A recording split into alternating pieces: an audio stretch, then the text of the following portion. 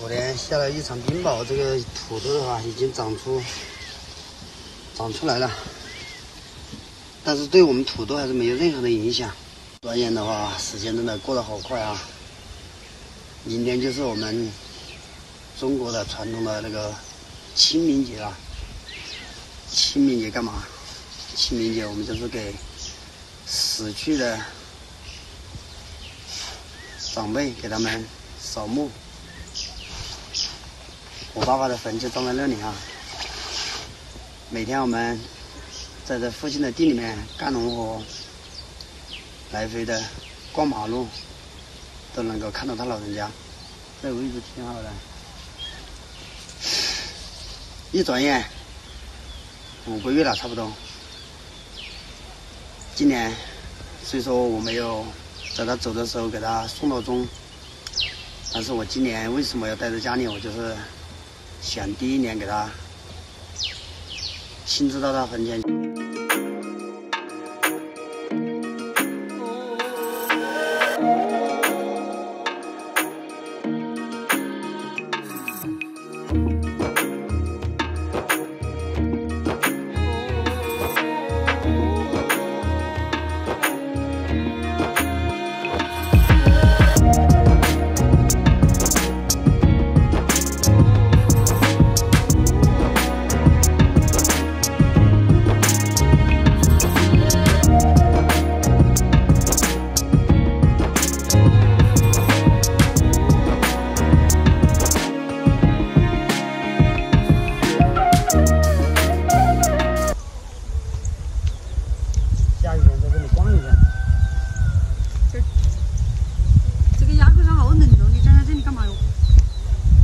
下冰雹，那边的土豆也长出来了。我去看一下那些土豆，还一一点都没受影响。明天清明节了耶，这叔把那些准备的，你准备了没有？你也记起来了？肯定记得啊！你留在家里面就是跟我说过，你说，嗯，你老爸第一年去世，就是在家里要跟他扫一下墓。鞭炮这些已经买了，今天。按照我们当地的习俗，就是要去买一个那个插在坟上的那种飘坟嘛，丢脸泥那个。嗯，买一个那个飘坟的，然后在家里煮一碟肉，再给他端一杯酒过来。是不是心情又又不好？看你。没有，就是突然想起。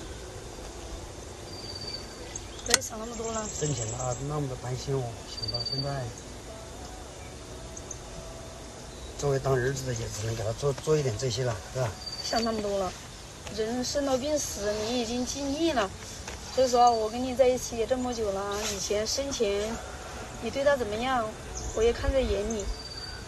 然后作为一个男人，你做到这样子也可以了，不要想太多了。说实话，他病了那么多年。去天堂的话，也许会过得把那些病痛带走了，也许会那个一点吧？你觉得呢？不想那么多了，好吧？旺财。所以说，就是父母在，真的有的时候，你当你失去的时候，你才会发现，担心的始终是自己的爸妈，挂念你的也是他。当你成功了，他为你高兴；你发财了，他也高兴；你有了。另一半有了家了之后，父母也更高兴，这就是父母对子女的期盼。所以到现在我体会到了那种有他在和没他在的那种感受。像以前的话，不管我在哪里，只要晚上没没有到家，他都会非常担心我。现在没有人担心我了。父母都是这样子的，还不是有我担心你吗？虽然。父母的爱对我的爱不一样，但是每个人都会经历这一步。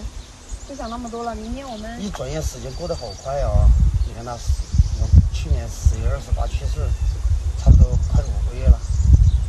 是啊，时间过得很快。我在我心里，我感觉他都还没有离开我。不想那么多了，等下我们去把那些东西提前准备好吧。